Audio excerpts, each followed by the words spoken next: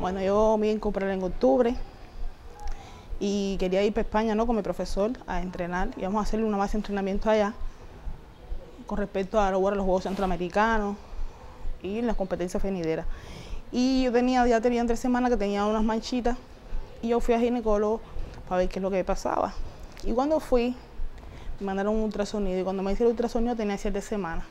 Ya, entonces yo hablé con el comisionado, hice una carta y bueno, yo decidí optar por, por tener mi familia. El médico decía que tenía el útero fibromatoso, que, que si me lo iba a dejar, que era una oportunidad, ¿no? Por, la, por las condiciones. Yo dije, está bien, yo voy a tener mi bebé.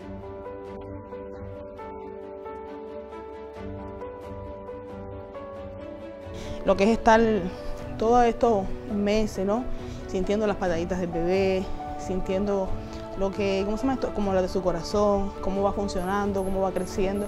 Es algo maravilloso. Todo el tiempo he tenido, ¿cómo se llama esto? Como problemas de amenaza de aborto. Yo quiero agradecer a los médicos de lo que es la Vallí, Maternidad Obrera, y bueno, y ahora que tuve que, que me mandan después para acá, para terminar lo que es el tiempo hasta las 37 semanas, eh, aquí en el materno y la atención ha sido maravillosa. Se recibió con un diagnóstico de modificación cervical ya con un pesario colocado y se recibe aquí en nuestro hogar para mejor control y seguimiento de sus riesgos obstétricos y del bienestar materno y fetal. Se ha mantenido en un reposo relativo, que es lo que lleva a este tipo de patología, y hasta ahora ha evolucionado satisfactoriamente. A mandarle un saludo y un agradecimiento a mi familia que han estado apoyándome en este proceso y en especial a mi esposo. Mi esposo es Iván Di Alberto Lescay de 400 metros.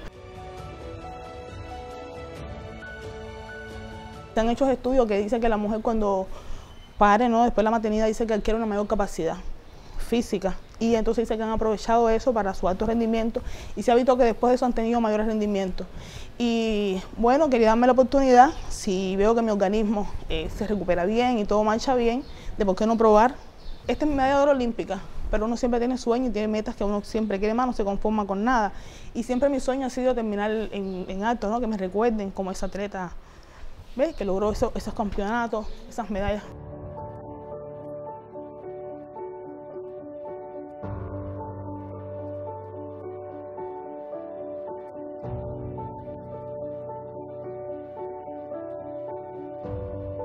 Felicitar a todas las madres cubanas y a las que van a ser mamá.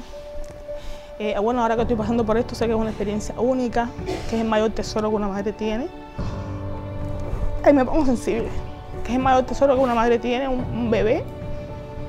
Y estos nueve meses he podido sentir ese amor, aunque no tengo el bebé en mis brazos, ese amor maternal. Y bueno, mandarle un beso al pueblo de Cuba, a esa gente que me recuerda con ese amor y con ese cariño. Mandarle un abrazo bien grande.